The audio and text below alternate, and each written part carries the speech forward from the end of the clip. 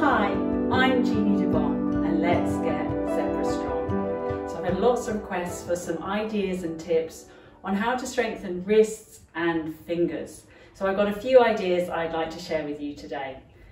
So, number one, if you've got a tennis ball or a similar item, I like to use the tennis ball because it's fairly light, um, but if you want to use weights, if you're a little bit more further ahead, you can definitely use weights. So, you're going to place the ball, keep the elbow tucked in because this will help keep you shoulder stability, so don't do it out here. Place the ball in the palm of your hand and obviously we want a good alignment through the wrist, so we don't want bending or obviously dropping. You'll know if you do that because the ball will obviously fall out.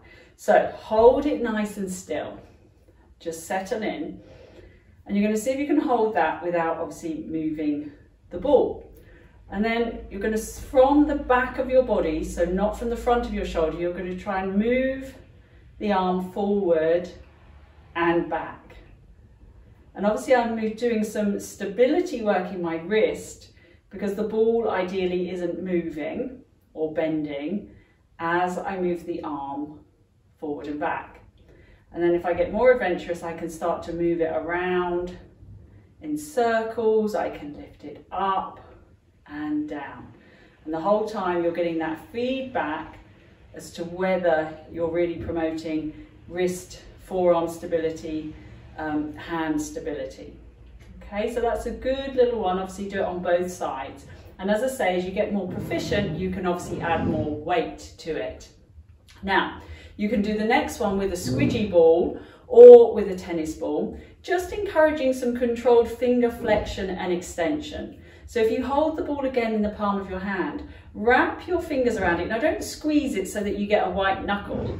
Just wrap your fingers around the ball and just enough to create some pressure. And then very slowly uncurl the fingers. So we wrap them in and we uncurl. Okay, so it's a little bit of finger flexion and extension with control. The slower you go, the better it will be. So that's number two. Okay, and if you've got one of those squidgy therapy balls, obviously you can give it a little bit of a squeeze, but don't squeeze with the tips of your fingers. The power's got to come through the hand and eventually into the finger. So it's not a finger squeezing exercise, it's a wrapping and contracting the whole structure exercise. Okay, so that's a little bit with a ball. If you've got a table in front of you or you know rest your hands on a book, the really good thing to do is to keep the hands resting and see if you can lift one finger at a time. A bit like playing the piano. And you can obviously mix this up and do different combinations, okay?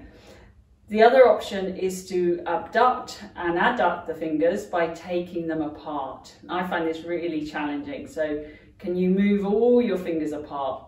So that one there's a little bit challenging for me. But again, you're working on those ligaments.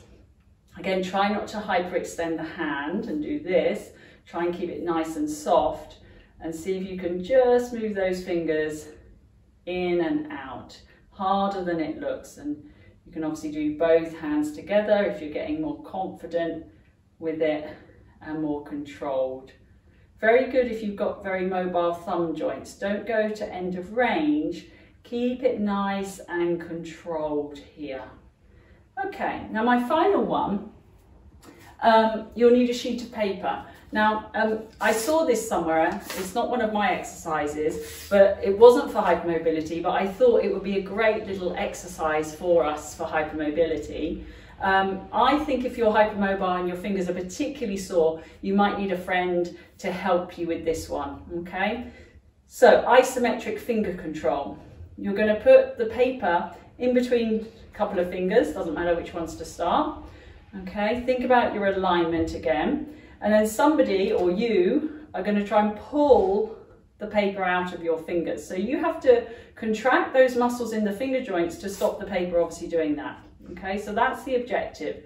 Can I keep the paper still while somebody's pulling on the bottom if I can't pull it for myself? And then I'm just going to work my way through And honestly, it's harder than it seems because it's not the sort of thing we do, especially if you've got very hypermobile joints. Um, it's a great one because it's very, very challenging. And you, will feel the little um, joints and ligaments really working there to stop the paper being pulled. And if you've got hypermobile thumb joint, this is a good one as well. If someone pulls, you'll really feel that the joint is having to do some stability work. Um, so I hope that's given you some ideas on working on wrists and fingers um, for hypermobile joints. So until next time, stay zebra strong.